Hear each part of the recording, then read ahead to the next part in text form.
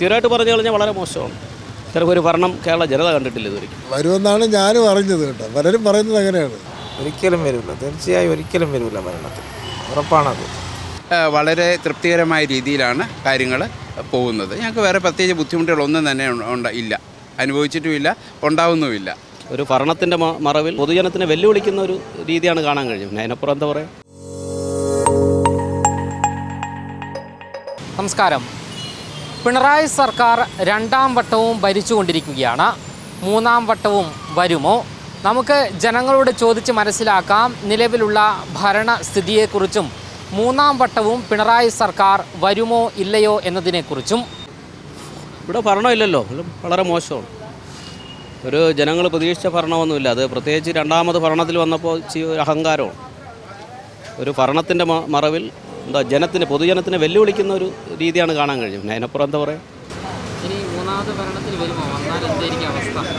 മൂന്നാമത് ഭരണത്തിൽ വരിക എന്ന് പറഞ്ഞാൽ ഇനി വീണ്ടും ഇതുപോലെ കിഴിക്ക് പോരെ വേറെ എന്തെങ്കിലും അടവുമായിട്ട് വരുമോ എന്നുള്ള അറിയില്ല. ജനത്തിന് ഇത് അറിയില്ലല്ലോ. ഇതൊക്കെ ഒരേ ട്രെൻഡല്ലേ. ജനത്തിന് പാർട്ടിയാണല്ലോ. ഇവിടെ എന്താ നടക്കുന്നതെന്ന് അറിയില്ല. അപ്പം സംബന്ധിച്ച് എന്താണ്? ഇപ്പോൾ ഒരു താഴേക്കടയിൽ ഒരു കൊച്ചു കല്ലെടുത്തിട്ട് ഇത് വജ്രം എന്ന് പറഞ്ഞാൽ ഇവിടുന്ന് കണ്ണൂർ വരെയും പറയും വജ്രമാണെന്ന് പറയും. ആ ഒരു രീതിയാണ് അപ്പോൾ അത് ജനത്തിന്റെ എല്ലാം ഒരു ഡ്യൂപ്ലിക്കേഷൻ എന്ന് പറയുന്ന ഒരു സംഭവം ഉണ്ടല്ലോ. അതാണ് നടന്നുകൊണ്ടിരിക്കുന്നത്.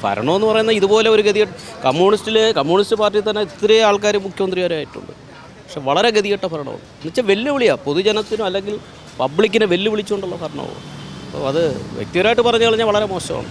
ഇത്തരം ഒരു ഭരണം കേരള ജനത കണ്ടിട്ടില്ല ഇതുവരെ ഓ കുഞ്ഞെ ഞങ്ങൾക്ക് ഞാനതൊന്നും ശ്രദ്ധിക്കാറില്ല. പക്ഷേ ഞങ്ങളെ സംബന്ധിച്ചിടത്തോളം വളരെ തൃപ്തികരമായ രീതിയിലാണ് കാര്യങ്ങൾ പോകുന്നത്. ഞങ്ങൾക്ക് വേറെ പ്രത്യേകിച്ച് ബുദ്ധിമുട്ടുകളൊന്നും തന്നെ ഉണ്ട- ഇല്ല. അനുഭവിച്ചിട്ടുമില്ല ഉണ്ടാവുന്നുമില്ല. നല്ല രീതിയിലാണ് പോയിക്കൊണ്ടിരിക്കുന്നത്. കുഴപ്പമൊന്നുമില്ല. അത് ഉണ്ടാവും പിന്നെ ഒരു ഒരു പ്രശ്നങ്ങളുണ്ടാവും എല്ലാത്തിനും ഇതിലുണ്ടാവുമല്ലോ പ്രതികരണങ്ങൾ എല്ലാത്തിനും ഉണ്ടാവും. കുഴപ്പമൊന്നുമില്ല. നന്നായി പോകുന്നുണ്ട്. സർക്കാരിന്റെ ഭരണം നല്ല പോലെ പോകുന്നുണ്ട്. കാരണം പാവപ്പെട്ടവർക്ക് ജീവിക്കാനും ജോലിയില്ല ഒരു ഭയങ്കര പ്രശ്നമായിട്ട് നടക്കുന്നു. അപ്പം അങ്ങനെ ഒരുപാട് പ്രശ്നങ്ങളുണ്ട്.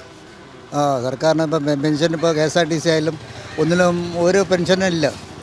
സാറിന് മെയിനായിട്ട് നമ്മൾക്ക് പട്ടികജാതി സ്കീമിൽ തന്നെ ഒരുപാട് സ്കീം സർക്കാർ കൊടുക്കുന്നില്ല. ഒരുപാട് സ്കീം നമുക്ക് തന്നെ റിസർവേഷനിൽ ജോലി വരെ ഇല്ല. പാവപ്പെട്ട പിള്ളേരെ എഴുതിയിട്ടും പരീക്ഷയിൽ ചെയ്തിട്ട് ഇവർ സർക്കാർ പിൻവഴി വാതിൽ വഴി എല്ലാവർക്കും ജോലി വാങ്ങിച്ചു കൊടുക്കുകയാണ്. പട്ടികജാതി പിള്ളേർ ആപ്പാട് ഗതികേടെല്ലാം ഈ സർക്കാർ പട്ടികജാതിക്കാരെ രക്ഷപ്പെടുത്താൻ പറഞ്ഞിട്ട് ഒരിതില്ല. കാരണം എന്താ? നിങ്ങൾ കൊഴിയ വയലെല്ലാം നിങ്ങളുടെ ആടെന്ന് പറഞ്ഞിട്ട് പത്ത് വർഷമായിട്ട് ഇതുവരെ ഒരു സെന്റ് ഭൂമി പോലെ പത്ത് സെന്റ് പോലെ സർക്കാർ ഇതുവരെ കൊടുത്തിട്ടില്ല പട്ടികജാതിക്കാർ എന്തിനാ അവിടെ ഇരിക്കണം നമുക്കറിഞ്ഞൂടെ?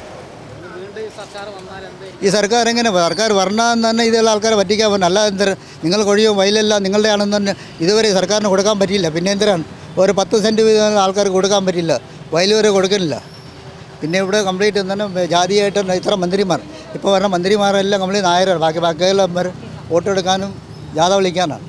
ഇപ്പോൾ അവർ അടുത്ത് പിന്നെ മന്ത്രിസഭയിൽ വരണ ഫുൾ നായന്മാരാണ്. ബാക്കി പട്ടികജാതി എസ് സി എസ് ടി ഇല്ല ഒന്നുമില്ല. മറ്റേ ഒരു രാധാകൃഷ്ണൻ ഉണ്ട് വായിൽ അനക്കമില്ല. കാരണം പട്ടികജാതിക്കാർ ഒരു പ്രശ്നം പുള്ളി സംസാരിക്കുന്ന പോലെ ഇല്ല. പിന്നെ പുള്ളിക്ക് എന്താണ് അവിടെ ചെന്നപ്പോൾ വിളക്കെടുത്ത് തറയിൽ വെച്ചുകൊണ്ട് അയാൾ അയാളുടെ പാർട്ടിയിൽ പറയാതെ പട്ടികജാതി സംഘടനയിൽ വന്നിട്ടാണ് പറഞ്ഞത്. കാരണം അവർക്ക് പിണറായി വിജയൻ അവരുടെ ഫാദറാണ് അവർ ചെന്ന് കാര്യം പറഞ്ഞു ഞാൻ അവിടെ പോയപ്പോൾ എനിക്ക് വിളക്ക് എന്റെ കൈ തന്നില്ല. അവരൊരു പട്ടികജാതിക്കാരന്റെ ഒരു ഒരു വേദിയിൽ വന്നിട്ടാണ് പറയുന്നത് അപ്പോൾ എന്തിനാണ് അതിൽ കയറി തൂങ്ങി നിൽക്കണം അപ്പോൾ ഈ സർക്കാർ തന്നെ ഇതാ തന്നെ നിങ്ങൾ കൂടി നമ്മൾ ഈ സർക്കാർ തന്നെ പട്ടികാധികാരം വോട്ടും കൊണ്ടുവന്ന് തന്നെ പട്ടികജാതിക്കാരാണ് കൊണ്ടുവന്ന് വയലാറിന്റെ ബില്ലും ഇതും കൊണ്ടായിട്ട് കൊണ്ടുവന്ന് വളർത്തിയത് ഇപ്പോൾ പട്ടികജാതിക്കാർക്ക് ഒന്നുമില്ല.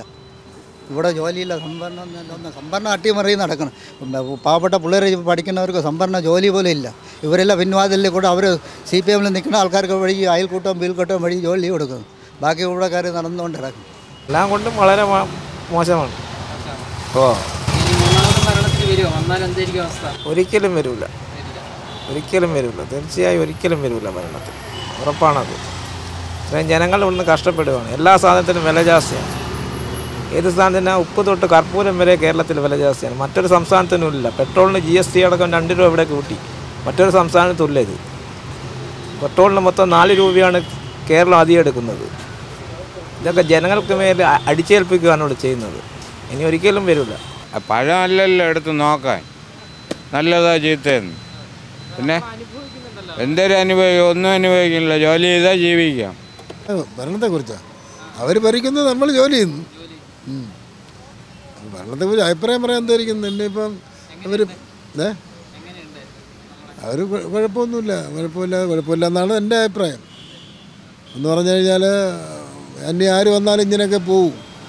ആരും എല്ലാം എല്ലാവരും പാവപ്പെട്ട ജനങ്ങളെ പിഴിഞ്ഞാണല്ലേ ഭരണം നടത്തുന്നത്. അല്ല ഒരാളുടെ വീട്ടിൽ നിന്ന് കൊണ്ടുവന്നല്ലേ നടത്തുന്നത്. ഇനി ആര് വന്നാലും കോൺഗ്രസ് വന്നാലും ഇനി ബി ജെ പി വന്നാലും ഇതേപോലെയൊക്കെ തന്നെ പോവും. ഇനി വേറെ ഒരു മാറ്റവും ഇവിടെ വരില്ല. വരാൻ വേണ്ടി ഇല്ല ഇനി ഇവിടെ നിന്ന് കുഴിക്കാനൊക്കെ ഉള്ളൂ അങ്ങനെ ഭരണം എങ്ങനെയുണ്ടെന്ന് പറഞ്ഞു കഴിഞ്ഞാൽ ഇപ്പോൾ അവരിപ്പോൾ സെക്കൻഡ് ടൈം ഭരിക്കുന്നു. അപ്പോൾ എന്ത് ചിലപ്പോൾ എന്തെങ്കിലും പോരായ്മകൾ കാണും. ചിലപ്പോൾ ചിലർക്ക് ഈ മറ്റേ ഈ പറയുന്നവർ പലരും പറയുമല്ലോ. ചിലർ പറയുന്നതെന്ന് പറഞ്ഞു കഴിഞ്ഞാൽ അവർ അവർക്ക് ഈ സെക്കൻഡ് ടൈം വന്നപ്പോൾ അവർക്ക് കിട്ടാനുള്ള ചാൻസ് അല്ലേ അവരെ കയ്യിലായിരിക്കുന്നു.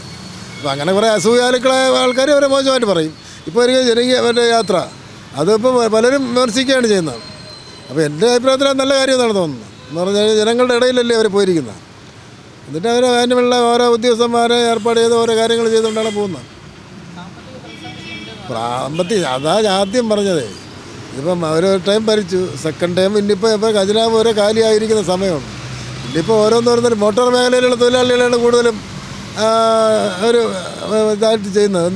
നമ്മൾ ആവശ്യമില്ലാത്ത ടാക്സികൾ കൂട്ടിയും പലതും ഇൻഷുറൻസും എല്ലാം കൂടിയല്ലേ ഇരിക്കുന്നത്. അപ്പം ഓട്ടോ മേഖലയിലുള്ള കുറേ ഒരു നമ്മളൊക്കെ നമുക്കൊക്കെ ടാക്സി മേഖലയിലുള്ള വണ്ടികളിൽ നിന്നാണ് ഒരുപാട് ദ്രോഹത്തിന് കാണിക്കുന്നത്. ഇപ്പം പൈസ പിരിക്കുന്നതും നമുക്കിപ്പം മൊത്തത്തിൽ ഓട്ടോ ഇല്ല. കൊറോണ ടൈം വന്നതിന് ശേഷം പിന്നെ വരുമെന്നാണ് ഞാനും അറിഞ്ഞത് കേട്ടോ. പലരും പറയുന്നത് അങ്ങനെയാണ്. തേർഡ് ടൈം അവരായിരിക്കും ചില വരുന്നത്. അല്ലാതെ ഇവിടെ മറ്റുള്ളവർക്ക് നേരത്തെ കൊടുക്കാനായിട്ട് ആരും ഇല്ലാത്തൊരവസ്ഥ എന്നാണ് ആൾക്കാർ പറയുന്നത്. വണ്ടി കയറുന്നവർ പറയുകയാണ്? എന്നുവെച്ചാൽ അവർക്ക് ഈ പറഞ്ഞാൽ ഓപ്പോസിഷനിൽ അവർക്ക് എന്ന് പറഞ്ഞാൽ ഒരു ശരിക്കും ഒരു മുഖ്യമന്ത്രി ആയിരിക്കാനുള്ള ആളിനെ ഇതുവരെ അവർ ആക്കി വെച്ചിട്ടില്ല.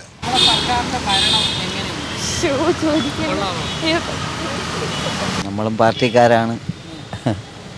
സർക്കാർ സർക്കാരിന്റെ ഭരണമെന്ന് പറഞ്ഞാൽ നമ്മൾ ഇപ്പം രണ്ടാമതും അദ്ദേഹം വന്നതുകൊണ്ട് നമുക്ക് ഭരണത്തെ പറ്റിയൊന്നും പറയാൻ പറ്റില്ല ഇപ്പം ടാക്സിയാണ് നമ്മളത്. ടാക്സി ഓട്ടോ ഒന്നും ഇല്ല. നമ്മൾ ടാക്സി സ്റ്റാൻഡേ പോയി. അപ്പം പിന്നെ ആ- പേരും പറഞ്ഞ് നമുക്കിപ്പം ഒരു ഇതുമില്ല പിന്നെ ഒരു മറ്റേ ക്ഷേമനിധി ബോർഡിലുള്ള ഇതാവുമ്പോൾ പെൻഷൻ പറ്റിയ ഡ്രൈവർമാർക്ക് ആനുകൂല്യങ്ങൾ വല്ലതും കിട്ടണമുണ്ട് അല്ലാതെ ഇപ്പം ടാക്സിയെ സംബന്ധിച്ചോളം നമുക്ക് ഒരു രക്ഷയില്ല. ഇപ്പം ആരും എല്ലാവർക്കും വണ്ടികളായി. അങ്ങനെ അങ്ങനെയൊക്കെ ഇരിക്കണം. എന്താ പറയുക ജീവിതം ദുസ്സഹമാണ് ആ ജീവിതം എന്ന് വെച്ചാൽ നമുക്ക് ഒരു രക്ഷയില്ല. ടാക്സി റോട്ടിൽ കിടക്കണ തന്നെ മിച്ചം. സാധനങ്ങൾക്കൊക്കെ ഭയങ്കര വില. ഒന്നിനും ഒന്നും അടുക്കാൻ പറ്റില്ല. സാധാരണപ്പെട്ട നമ്മളെ ടാക്സിക്കാർ ഇപ്പം ഇപ്പം പത്ത് ഇരുപത്തിരണ്ടും ഇരുപത്തിമൂന്ന് വരെ ഉണ്ടായിരുന്നു. ഇപ്പം ആഹപ്പാട ആറ് വരെ ആയി. ആറ് എല്ലാവരും ഇപ്പം ലോട്ടറി കച്ചവടത്തിന് വരെ ടാക്സിക്കാർ പോവുകയാണ്. പണ്ട് ഞാൻ ഇത് സ്പീക്കർ രാധാകൃഷ്ണൻ സാറ് ഇവിടെ വന്നപ്പം ബൗഡൻ ബൗഡൻ പൊട്ടി. എന്റെ വണ്ടിയിലാണ് അവിടെ സ്പീക്കറെ കൊണ്ടാക്കിയത് അന്ന് മുപ്പത് രൂപ. അന്ന് മുപ്പത് രൂപ നമുക്ക് അന്നൊക്കെ ഓട്ടോ ഉണ്ട്. നയനാരുടെ കാലത്ത്. ഒക്കെ ഇന്ന് ഇന്ന് നമുക്ക് ഈ ടാക്സിക്കാരെ മൂന്നാമതും പിണറായി സർക്കാർ ഭരണത്തിൽ വരുമോ അത് അത് ഓരോരുത്തരെ ഭരിക്കണതിന്റെ ഇതല്ലല്ലോ നമ്മൾ ഈ ആര് ആര് ഭരിച്ചാലും കരുണാകരൻ സാറ് ഭരിച്ചെന്ന സമയത്തും എല്ലാവരും ഓട്ടോ ഉണ്ടായിരുന്നു. അന്ന് ആസാദ് ഹോട്ടലും ഇവിടെ ഒരു അങ്ങ് കാസർഗോഡ് എന്ന് പറഞ്ഞ എം എൽ എ സെക്രട്ടേറിയറ്റിൽ നിന്നാണ് വണ്ടി പിടിച്ചു പോകുന്നത്.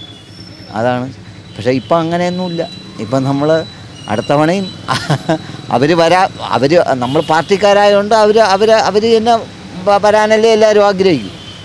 ആണ്. അത് പക്ഷെ നമുക്ക് ഇപ്രാവശ്യം രണ്ടാമതും എന്ന് വെച്ചാൽ നമ്മളിതാണ് രാവിലെ രാവിലെ ഒൻപത് മണിക്ക് വന്ന വണ്ടിയാണ് ഇതുവരെ ആയിട്ടും ഒരു ഇതുമില്ല ഒരു രക്ഷയില്ല മറ്റത് യാതെ കഷ്ടതയാണ്. ആ അതേ ഉള്ളൂ. നിലവിൽ പിണറായി സർക്കാരിന്റെ ഭരണസ്ഥിതിയെക്കുറിച്ചും ഭരണ സംവിധാനത്തെക്കുറിച്ചുമുള്ള ചോദ്യമാണ് നമ്മൾ ജനങ്ങളോട് ഉന്നയിച്ചത്. പല രീതിയിലുള്ള ഉത്തരങ്ങളാണ് നമുക്ക് ലഭിച്ചിരിക്കുന്നത്. ചിലർ സർക്കാരിനെ അനുകൂലിച്ചും പ്രതികൂലിച്ചുമെല്ലാം തന്നെ നമ്മളോട് പ്രതികരിക്കുകയുണ്ടായി. വീണ്ടും നമ്മൾ പ്രതികരണം തേടുന്നതാണ് ക്യാമറാമാൻ ശ്യാമസ്ധരനൊപ്പം അമൽ രുദ്ര മറുനാടൻ മലയാളി തിരുവനന്തപുരം.